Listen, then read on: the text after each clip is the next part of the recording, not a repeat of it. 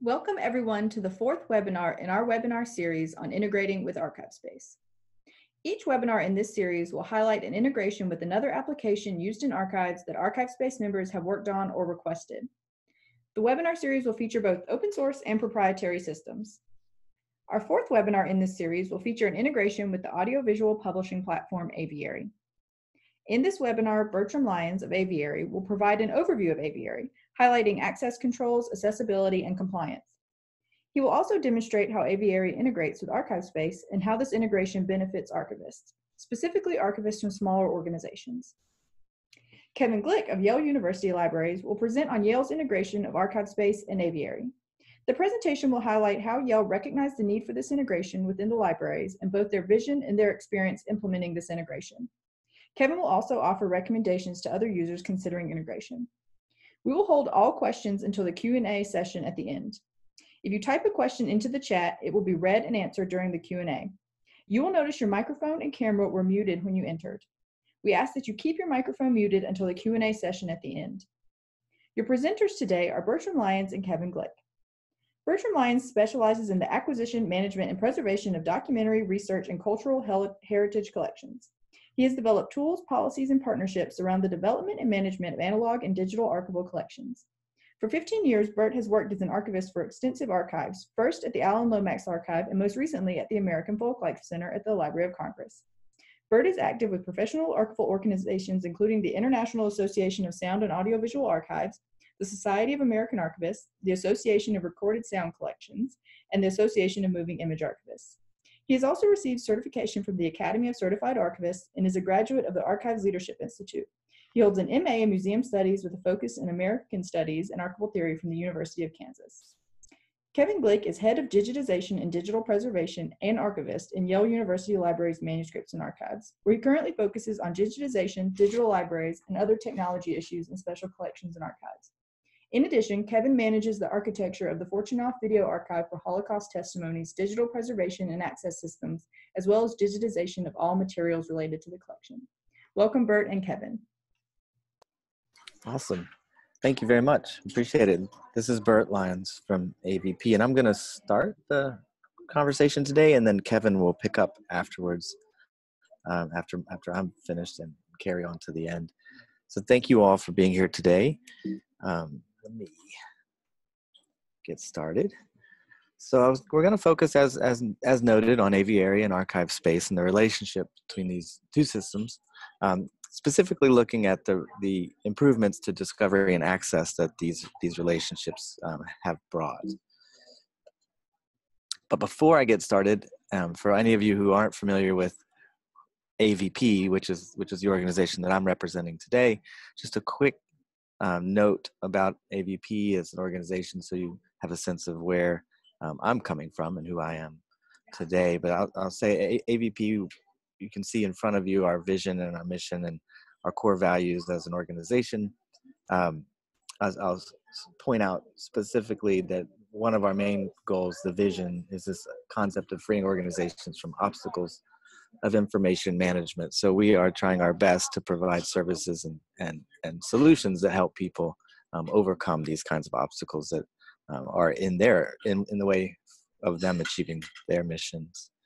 Um, a quick sense of who we work with um, and where we work. We work in uh, in academic um, organizations and and federal um, organizations with museums, with archives, with libraries, broadcast organizations, um, we work also internationally as well, just to give you a sense of some of the experience that, that we bring to the to the table. Um, and the kinds of things we do is we largely are a consulting and strategic planning organization uh, originally. So we do a lot of work around assessments and audits and technology integration and planning um, and data migration and data transformation. But we've ultimately, over the past five or six years, developed ourselves into also a software development company um, because of the amount of work we've been doing uh, with data and, and, and software. And specifically, this came out of originally digital preservation work that we were doing. Um, but today I'm here to talk about Aviary, which is one of AVP's, which is why I talked a little bit about AVP, which is one of AVP's uh, software products. It's a software as a service platform that we've built alongside our partners at Yale University, uh, the Fortunoff um, archive, who, who Kevin also represents.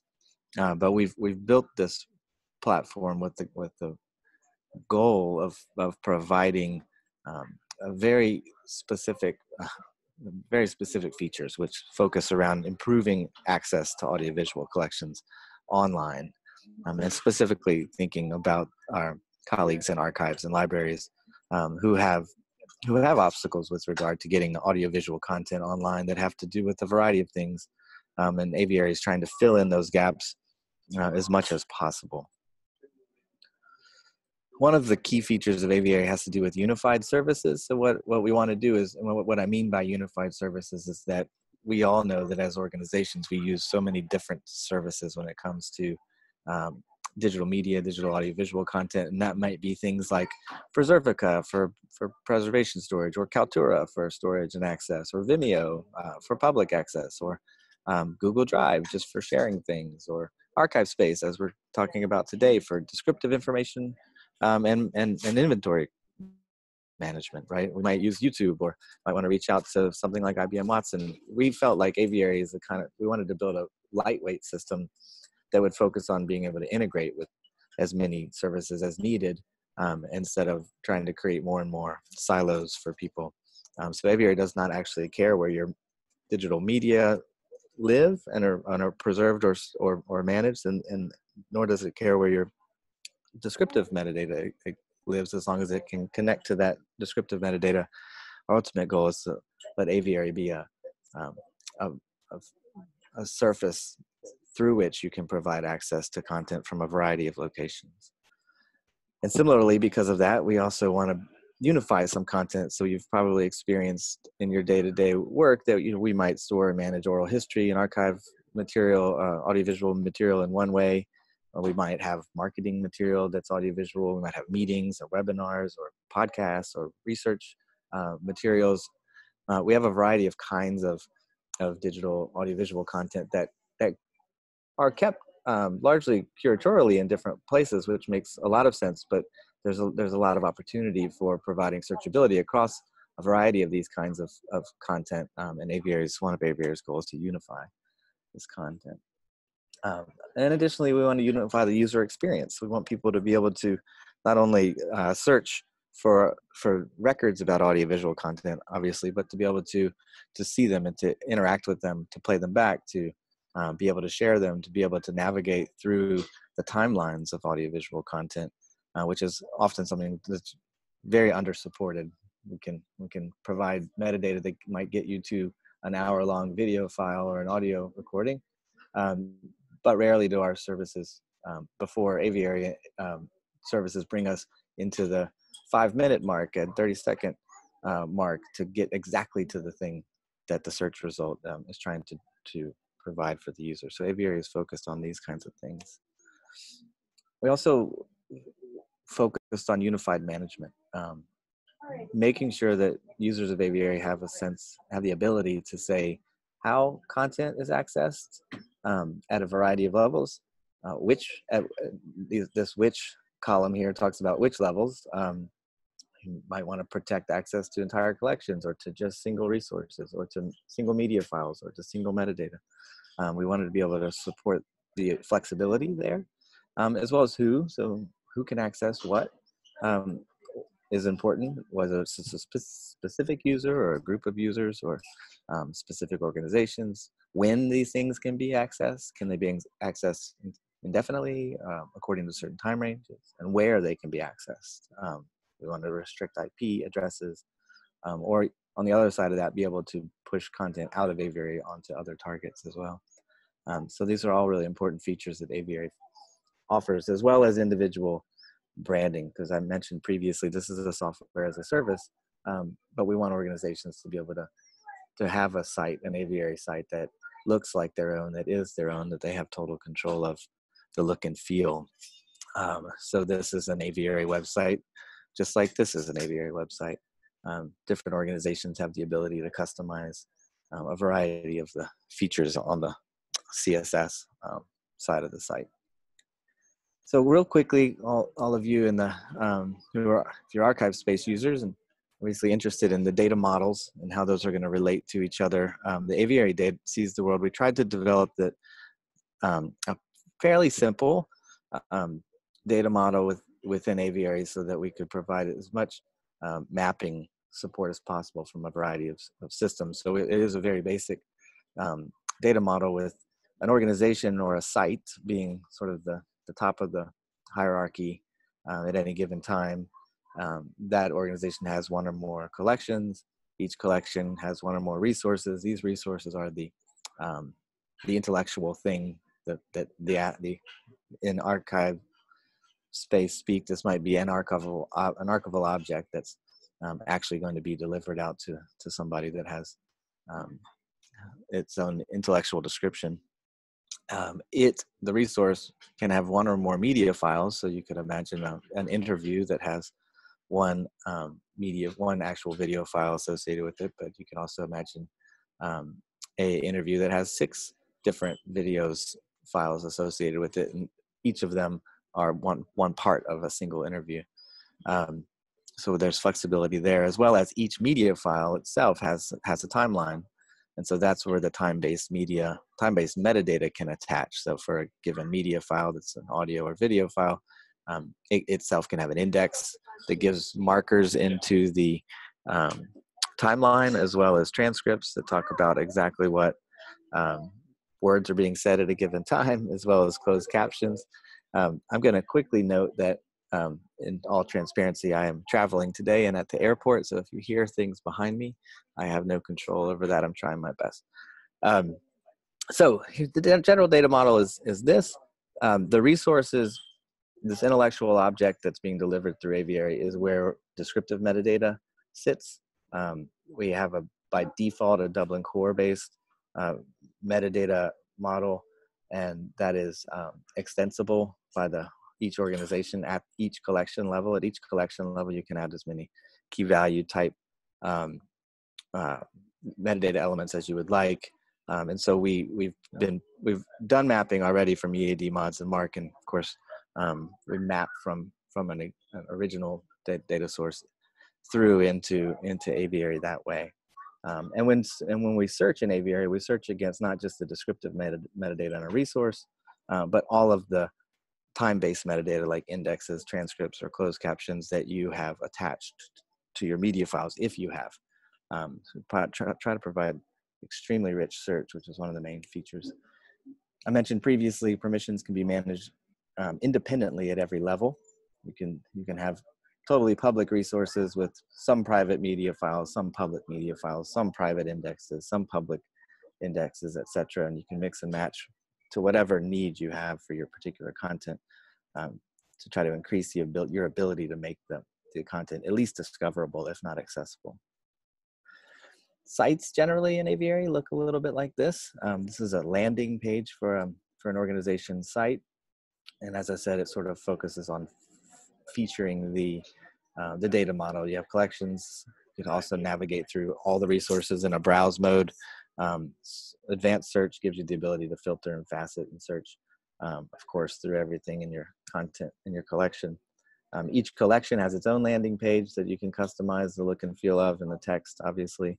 Um, and each resource has its what we call the resource the resource detail page, which is what you're seeing here. Um, this is a resource detail page, and it features sort of a T-shaped approach on the on the left. You'll see the player um, as well as a timeline underneath the player. Those blue, those blue lines that you see there are connected into the index tab, um, which uh, we can talk about in a little bit, um, as well as some basic metadata um, that we call tombstone metadata that you get to select. Um, aside from title, collection, organization, you can select up to two or three um, metadata elements from your resources in a given collection that always appear as part of the card for the uh, for the particular resource when it appears on the uh, in the website. But the description tab, which we're not looking at, which is not blue, um, the description tab has the full metadata um, attached to it for the resource, and the transcript and the index tabs contain any transcripts connected to the particular media file that's being played at a given moment in time. What you see here, the transcript uh, for this particular resource is being displayed um, with the currently so the media files themselves, we have a little drop down where the media, where you, a user can navigate through if there are more than one media files associated with the resource. Um, and the index and the transcript are tabs that as you click on them, they sort of dynamically load there. Um, Aviary features two uh, very important search approaches. One is to search within a resource. So every resource is searchable.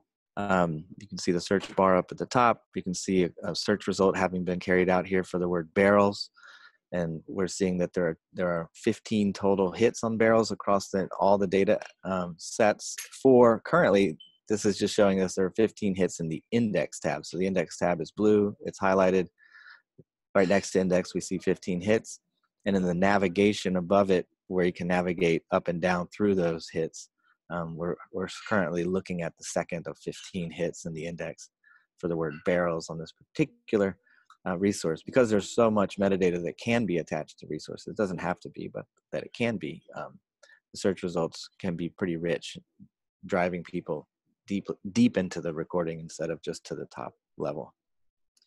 You also can search across resources, and this is the big big powerful part of aviary is once you have lots of content from a variety of collections in the system, um, searching searching both simple and advanced searches um, bring back pretty rich opportunities to identify um, not just in the description but across transcripts and indexes where we have similarity across across resources. So here one of the key features is not easily um, seen with right now and i can't point to it i don't believe but if you look in the first card um, at the uh, on the search result set there, you'll see the the words found in colon, and then you'll see barrels colon, and then you'll see description one, index title two, index 13, and transcript 79. That's a count of the total times barrel was found in those particular uh, metadata areas within this particular resource. Um, so it's quick quick way to try to deliver some relevance information to the user. Um, what you typically find is you search for barrels or you search for whatever you're searching for, and you might see a list of things that um, have that word in them, but it's when there's so much metadata, it's really difficult to identify a the relevance and b where it, where it is that that um, that word or the the string or the or the variety of words. If you search for a variety of of, of elements, um, where they are actually located within the file itself. So some additional features related to um, Aviary I just want to point out, though we're not talking about them today, is that it does feature automated metadata. Um, within the application. So if you are storing and loading video or audio files into Aviary, you can um, push out to, to, us to IBM Watson for speech to text. Um, let's see, someone just wrote a note. Let me see if that's to me. What's an index? Good question. Um, I think we'll get to that uh, at the end. Um, but largely, an index is a time point, basically a marker. That you might say at minute one, second 10, something happened at two minutes 30 seconds something happened. At five minutes something happened and that creates an index of the recording to allow somebody to quickly jump through uh, the recording instead of having to listen in real time. So but we can talk more about that shortly. Um, to go back here let me make sure i didn't skip something. Yeah so i was talking about speech to text with ibm watson. So that's by default ibm watson's connected to to Aviary, and um, organizations have the ability to send um, files out to IBM Watson, and have them come directly back to Aviary and be loaded into Aviary. Um, there's no extra charge from Aviary to do that, but you are charged for IBM Watson. It's a very small amount of cents per minute, um, but that's a pass-through charge if you do want to use that. Um, permissions and access requests are a very big part of Aviary um, that themselves could take an entire um, webinar to, to go through. But if at the end, if you have questions, if Kevin hasn't covered how some of these are, are worked with, um, Aviary is very has very um, deep uh, ability to allow a um, an organization to communicate with its users and vice versa, so that users can request access to not currently public material um, and to have a workflow within the system to carry out that access request and um, and complete it and ultimately provide access um, if desired by the organization to that user. Um, Aviary also features collection level RSS feeds, which is a very new but an uh, interesting feature that that we've we've developed for people who want to create podcasts. So Aviary can. This is a side note, but Aviary itself can serve as a podcast feed um, to any, and it's already being supported in Spotify and um, and by Apple iTunes as well as by um, Google Podcasts. So the but the key thing today is integrations with external systems, um, and specifically we're going to talk about ArchivesSpace. Um, so I'll talk a little bit about how that works in Aviary, and Kevin's going to show you the specifics. So I might go quickly through some some of the things to give you some familiarity, but Kevin will talk a little bit more specifically. Um, the basic approach for how ASpace and, and Aviary work together currently is that we use the archival object ID from from from ArchivesSpace um, to be basically a map to a single aviary resource. So whatever level archival object ID that you have that represents some item that's an audiovisual item, um, that thing can now can that identifier is what aviary is going to be looking for from to be given uh, from you to create this relationship and aviary will assume that it's going to it's going to map metadata from that at least from that level um, object and maybe some others depending upon what kind of customization you would need. Um, but it would map metadata from that level as well as look at the digital objects attached to that archival object. Um, and those digital objects that meet a certain criteria uh, determined by you all, um, and Kevin will talk a little bit about some examples, um, that that digital object in ArchivesSpace, we use the, this URI from that to go and actually uh, acquire the binary media object that's going to be moved into aviary as, as one or one of the children of the, the aviary resource that um, that's being created. So the general example here showing ArchivesSpace as the central um, descriptive metadata um, uh, home in this example. The Preservica example is just to demonstrate one of, of any kind of targets where the digital object itself could be stored. In this example, um, showing you um, ArchivesSpace working with Preservica and Aviary. You could have ArchivesSpace working with Google Drive and Aviary, or ArchivesSpace working with um, S3 and Aviary, or wherever it is that you have your, wherever ArchivesSpace is pointing to um, to files from the digital object. So currently, what happens is um, in ArchivesSpace, an archival object um, is connected over to an Aviary resource. That archival object has one or more digital objects attached to it and aviary goes follows those leads over to wherever those are stored. In this example they're in preservica so and uh, aviary follows that over to a deliverable unit um, and then to a digital file um, to which point we can bring that right back over to um, aviary as the media file. One second please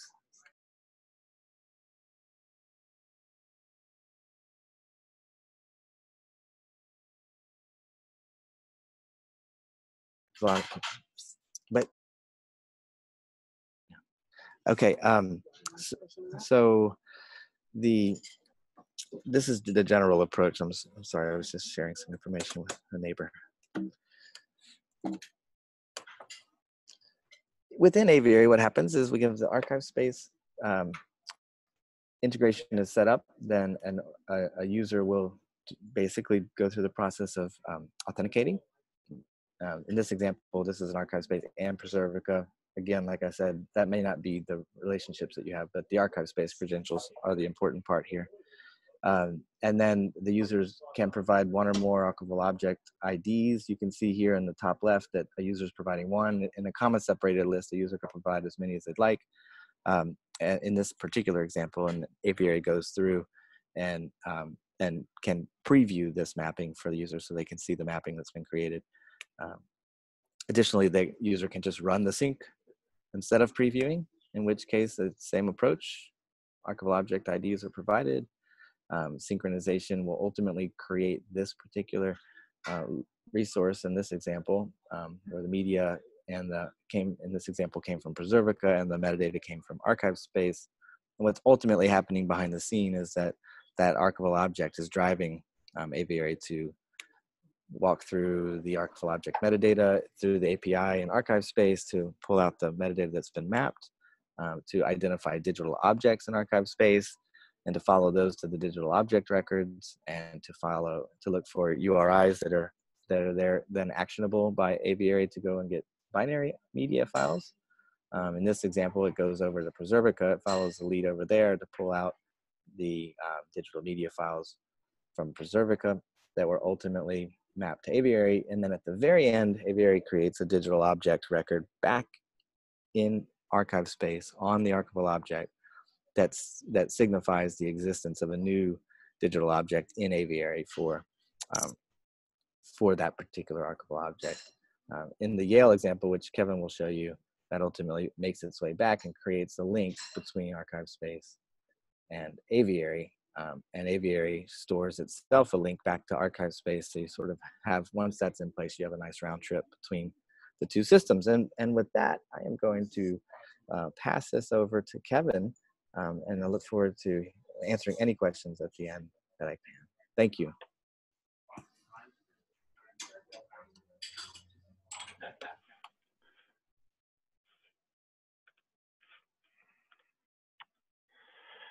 Okay, uh, uh, hello everyone. This is Kevin Glick, Yale University Library. So um, we're now going to just talk about some about uh, Yale specifically a little bit and uh, do a little run through of how this looks in archive space and uh, aviary, and then hope uh, hopefully leave plenty of time to have a question and answer for very specific information that anybody would like to to would like to talk about. So um, as Bert said, Aviary was developed through a partnership between AVP and the Fortunoff Video Archive of, for Holocaust Testimonies here at Yale University Library. As such, many of its features are the result of specific systems needs expressed by Fortunoff and other Yale archival collection staff. Today, we're really focusing on a subset of those expressed needs uh, and those that have to do with uh, this integration between archive space and, and aviary. Some of the most important needs of an online access system for AV surrounded basic issues of metadata creation and ingest of digital resources. These issues were important to us because of the size of our collections and the difficulties we'd been having with ingest and ongoing updates in our other digital library systems. The system needs to be easy for staff to ingest content and associated metadata and to make ongoing updating easy by allowing staff to work directly in our authoritative descriptive and collection management system, which is ArchivesSpace. Ingest and updating is no small issue for many organizations. The size of the collection, the sheer number of resources, and massive metadata, and its ongoing variability can make it very difficult to set up ingest and maintain metadata in most digital library systems. Sometimes the work can be so difficult that it threatens the su successful implementation of the system. We faced those issues uh, when we set up previous systems, taking months to ingest videos into streaming services and associating metadata to tie it all together. Even after ingest, the process of maintaining the data over time as description improves and changes can be cumbersome. It was vital to us that the new system made this process easier on our staff and was more efficient. To that end, Aviary allows us to describe all of our AV content in our own system, archive space, and to enable automated ingest of metadata and content, as well as to enable efficient ongoing synchronization of all of this over time. So uh, Bert showed you a few versions of uh, the diagram that I've got here, uh, comparing the data models a little bit between ArchivesSpace and aviary. Because archive space is flexible and allows quite a bit of variability in how an organization can arrange and describe AV resources, or really any archival collections, aviary can't be a single one size fits all integration where this is how it always works in all situations. It's necessary to work with organizations to tailor the integration to meet each organization's needs. So uh, Bert showed you some of the examples of how how this happens, but uh, it this tailoring needs to happen at a couple of different levels. It needs to to happen at this sort of uh, conceptual object level uh, because uh, it's actually possible for AV objects to be described uh, at in different records inside archive space. So uh, an example that we'll talk about, the Fortunoff Video Archive for Holocaust Testimonies, um, shown here in ArchivesSpace, um, is a collection of 4,500 video testimonies, sort of uh, video oral histories, uh, on uh, about 12,500 videotapes. And uh, the decision by that organization was to make each interview its own resource in archive space. Thus, the connection between uh, ArchivesSpace and aviary is uh, resource to resource, sort of that naming in there. However, the more like the example that uh, that Bert gave uh, is one here. Here is manuscripts and archives uh, at Yale Library. Um, the, we have a collection of uh, documentation of a television show in the 80s documenting the end of apartheid called South Africa Now. Uh, and it has traditional archival series, sub-series, groups, and uh, the the works, uh, the digital, the AV is described in as archival objects. And so then uh, the connection there it, between ArchivesSpace and aviary is archival object to resource, and then the ArchivesSpace resource to collection. Um, beyond uh, the mapping of the conceptual object, how uh, the objects are conceived of in ArchivesSpace, and then uh, mapping that to, to aviary, it, uh, it's necessary to uh, map the archive space metadata fields to aviary on the case that you might have a, a, variability in how you're describing or use custom fields or notes in some way that you want that to map differently to aviary. Mostly Yale is uh, doing a little bit better job in using a similar uh, use of metadata fields uh, um, from uh, repository to repository, but that can change and that's something that needs to be tailored. And then another thing that needs to be tailored, and I'll get into that a little bit more, is how it is you want to synchronize between a ArchivesSpace and aviary, and a lot of that has to do with the homogeneous, sorry, how homogeneous uh, your uh, collections are in ArchivesSpace, or how clustered they are in collections, or if they're dispersed among little tiny parts of different collections, then the sync might need to happen in different ways. And I'll talk about some examples and how that, that plays out. So uh, let's go back to some examples here. So uh, this Fortunoff Video Archives example that I, I brought out, uh, here's the archive space record for uh, HVT1 uh, AVA B, which is uh, has, as I said, a resource record that describes the testimony, and then the hierarchical description that one might think of the archival objects in here are actually describing different generations of uh, videotape uh, from master, duplicate, restoration master, restoration stub master, and use copy, as well as other kinds of administrative documents and metadata related to that thing. So in the master here, uh, the, there happens to be uh, three physical objects that originally existed, U-matic video cassettes that were digitized and stored in Preservica. Bert talked about how this could be integrated with Preservica. That's what we're using here at Yale. And so then we've got three different recordings, part one, part two, and part three, that are all st stored in Preservica. Uh, along with the uh, the videos themselves, for this, we've got indexes, and uh, Bert talked a little bit about indexes uh, in, for the Fortunoff Video Archives, uh, indexes are uh, first-person English uh, time-coded summary notes of a portion of the time. So it will say, it will take a say five minute uh, period and say, in this five minutes, the the interviewee talked about the ghettos in Warsaw or or something along those lines. And so we are uh, uh, we are storing those in Preservica. Uh, and we have one for every video, but I wanted to show an example here uh, that um, it doesn't need to be Preservica. It can be Google Drive in this case.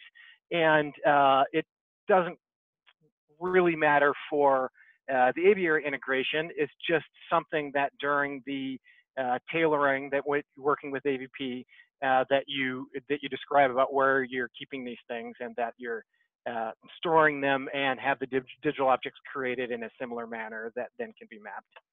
We also then have the same thing for transcripts and captions.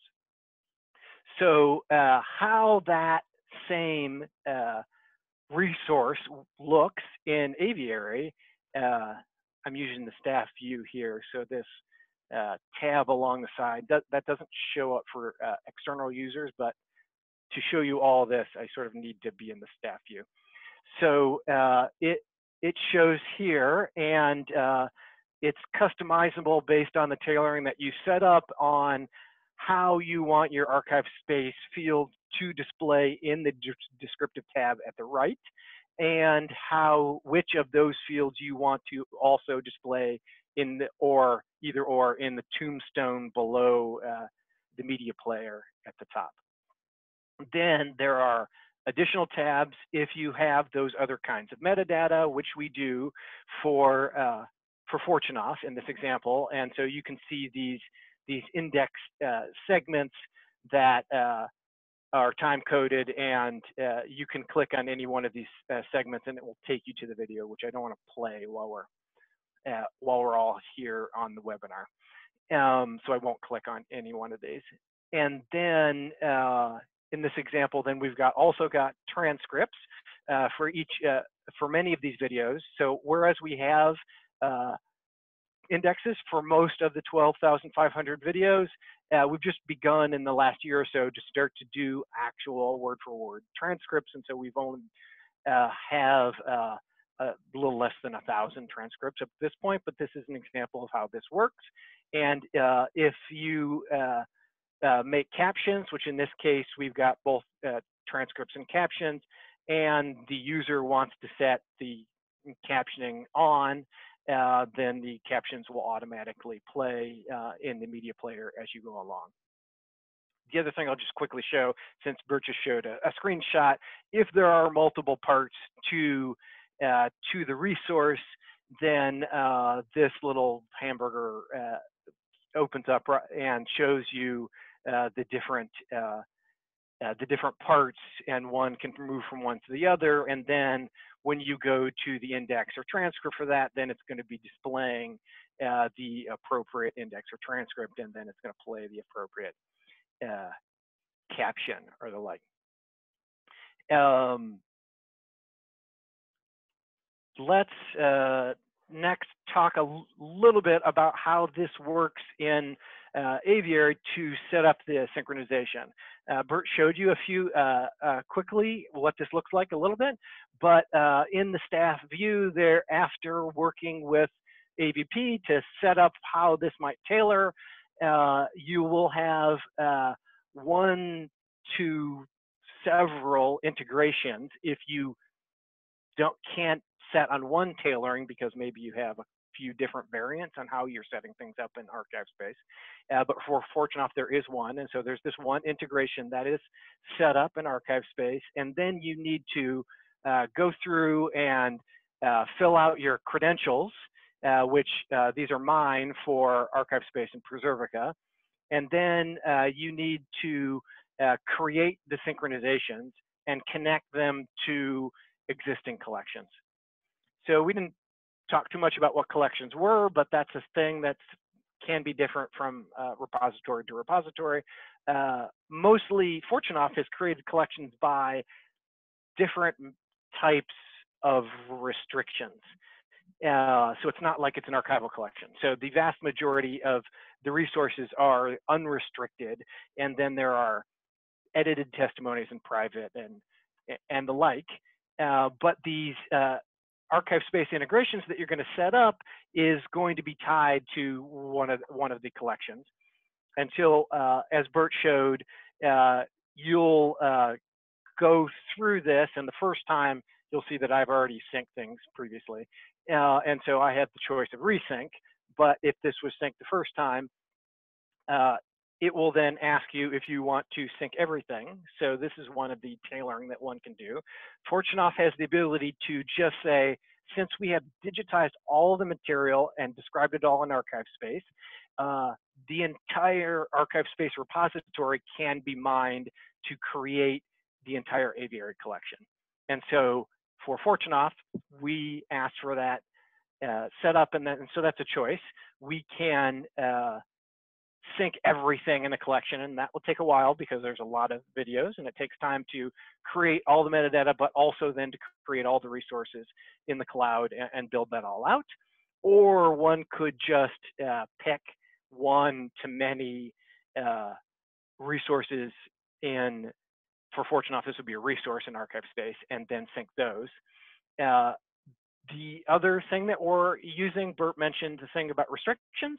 So uh, we're, uh, uh we also have the ability to uh, utilize uh, write statements in archive space to limit which how things are synchronized. And so in this, there is a little choice here to it's uh, the default for Fortunoff is to only sync things that do not have a, a an access restriction, um, unless we mark that we're going to synchronize restricted. So uh, in the example of Fortunoff, I'd probably only do that when I'm uh, synchronizing this restricted uh, collection, which is a small collection. Uh, and uh, after you enter those things in, you say yes, and then it proceeds in the background, and these statuses change from stopped or completed to queued, and then in progress, and then uh, completed uh, when it gets to the end and gives you a log to follow along. Um, let's uh, quickly show a, a, different example from manuscripts and archives. So uh, as I said, the South Africa Now collection in manuscripts and archives um, is uh, one of about uh, 150 different archival collections in manuscripts and archives that has AV material that's been either acquired digital or it has been digitized.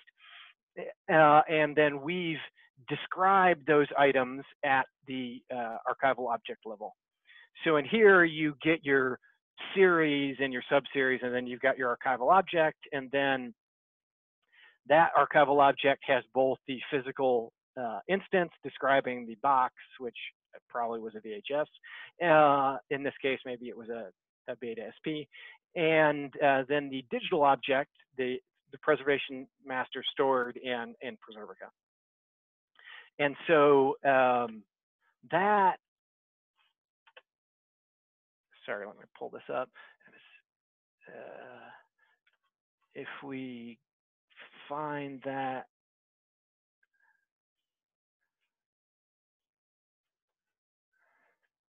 how that looks in uh, aviary uh, is something like this. So uh, you can see that uh, we've got a lot less archival description for this collection in manuscripts and archives than we did for Fortunoff. Aviary doesn't really have any strong opinions on how much uh, metadata you've got. This is the level that we have, and we don't have any indexes or transcripts yet. Uh, for that, maybe we will in the future, but this is how this how this looks. Um, on the integration side uh, for manuscripts and archives, uh, the synchronization is a little bit more complicated because we've got so many different collections that um, have slight differences that need to be synchronized differently, but it works essentially in the same way. You're creating a connection to uh, between uh, archive space and aviary, and then you're syncing either the entirety or a portion of that collection by either giving it uh, one archival object or many.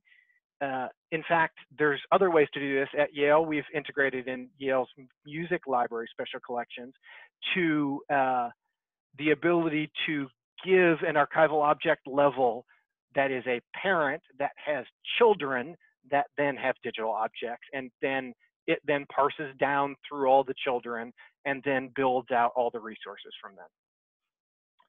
Uh, and then uh, finally, I just wanted to show this, one of these examples here, how uh, we talked about how Aviary then at the end is writing back a digital object back into archive space. Uh, that um, that record is here, and uh, the uh, organization needs to tailor that with um, with AVP about how they want that to work. We are we are publishing all of those because we are utilizing the ArchivesSpace PUI, and then those published digital objects then display uh, in uh, our archive space PUI here. Here's this episode for, I don't remember which episode we were looking at, but uh, this is one of those examples. And then uh, users can, if they're discovering through archive space PUI, uh, bring that, follow that directly on over into Aviary. Okay, I don't want to spend too much more time, so I'm going to stop sharing and try and leave some time for questions. All right. Thank you. Thank you, Bert and Kevin. That was really cool. Um, we will now open the floor to questions. we have about 10 minutes. Um, if you would like to ask a question, feel free to, to unmute yourself now, or you can just type it into the chat. Any questions that come through the chat, I will read them. Um, but we did have the one question during the presentation about what the index is, and Bert, you did answer it on the fly, but is there anything else you want to add about that? Um, I would just say that Aviary supports indexes um, that come in a variety of forms. So, in, if you think about an index, Kevin talks about it intellectually, but actually, yeah, then you have you have to actually create the data.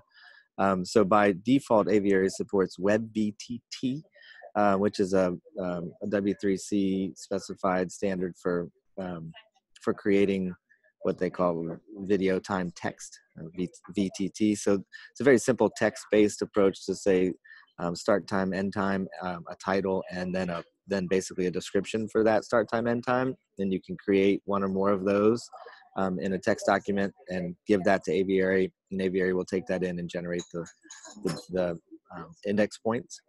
Additionally, we support OHMS, the Oral History Metadata Synchronizer, um, which is a, a, very good way to create um, to to semi-automate the creation of of time-based metadata.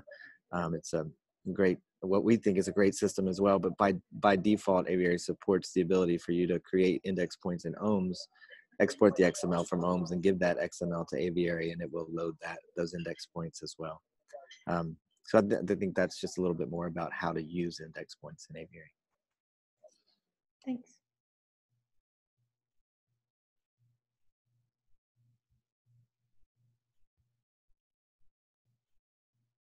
We don't currently have any other questions in the chat, but we'll give it a, a, a few minutes just to see if anyone is typing. Oh, we do. All right. Uh, Sarit asks, do you foresee any issue with the new data model in Preservica version 6? Uh, no, no, not at all. Um, so that's that's a question related to uh, the the scenario where you are using Preservica to store your digital uh, content for preservation, and the data model um, won't affect Aviary's ability to connect. Right now, we do have mappings into Preservica v5 um, for the examples that, that, we were looking at, but um, v6 we we're, we already have some example mappings. They're not in production um, in Aviary, but it, it doesn't affect it at all. Thanks.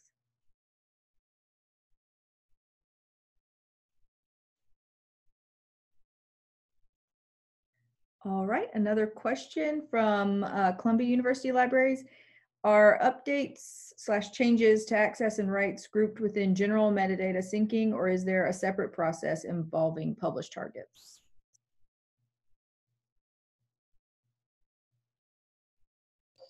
Um, I'm trying to make sure I understand the question. Are updates changes to access and rights. So this is this is a um, it can it can be either way answer. Kevin and I were actually discussing this yesterday. Um, the currently it's if we create a mapping oh um, to to use the rights information in ArchivesSpace, we could um, Aviary can during the synchronization process respond to that and generate the appropriate statuses in, in Aviary to match. That just requires a mapping that says use this field in, in A space and when the value equals X, uh, make the value in Aviary equal Y. Um, so that is totally feasible, um, but it's not. It's not. It doesn't happen by default. We have to. We have to map it. Yeah, the only thing I'd add here is um, to make this work, it requires uh, a, a, standardization on the part of the archives in the way that they're describing uh, those, uh, you know, access conditions governing access. Since uh, those do not have to be set terms, there can be a lot of different text in there, which is going to make uh, an automated mapping quite complicated. And so the work that an archives does to shore that up and make it a little bit more standard is going to make it a lot easier.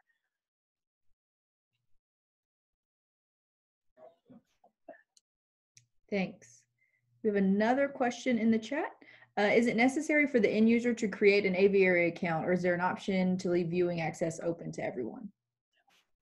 Uh, yes, there is an option for uh, to leave it open for everyone. Aviary, um, the resources in Aviary can have three to one of three statuses: public, restricted, or private. Um, a public resource is going to be available to any user public on the web. Um, they don't have to be logged in to the Aviary platform in any way.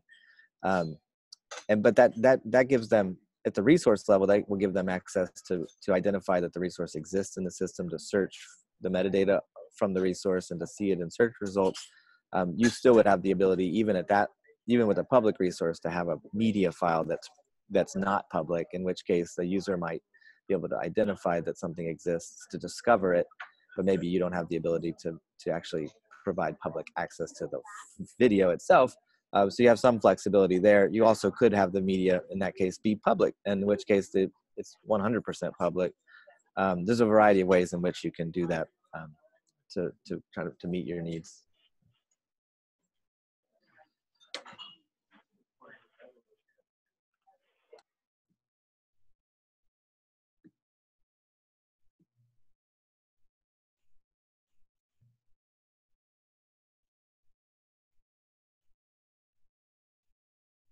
Right. Any other questions?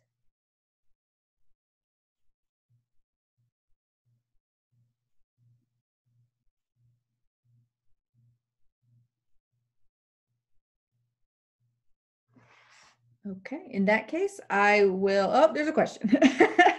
um, Joshua Shaw, is there a Git repo or is the code proprietary? There is a uh, there is a public Git Git repo for some features of the Aviary um, code base. So the Aviary code base um, has a core set of functionality that is um, that is open on GitHub. That was part of our um, plan with Fortunoff to to have. So that's out there right now. Um, it's called aviary underscore public, I believe, if you're looking for it.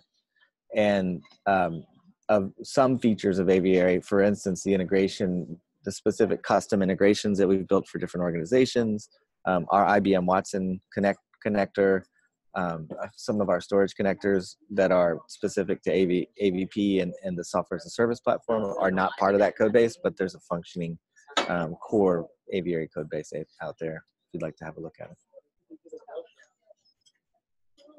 Does that answer your question, Joshua?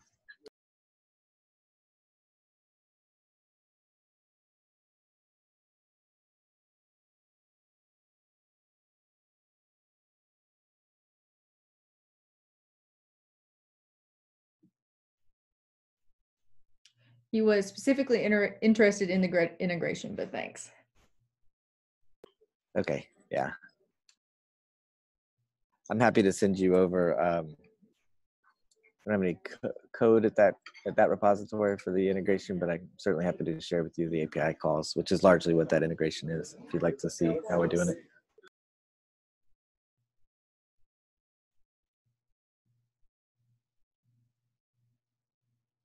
That'd be great. And I will include um, links to the slides as well as contact information with the recording for this webinar. So you'll be able to follow up. Anyone will be able to, to follow with Bert later. Great.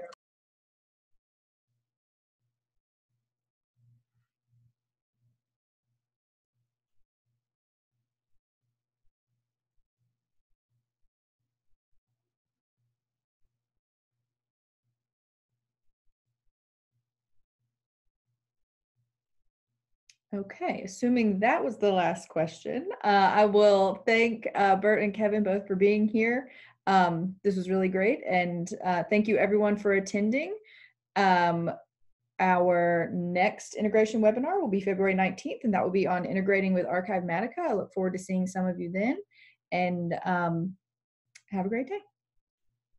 Thanks, everybody. Thank you.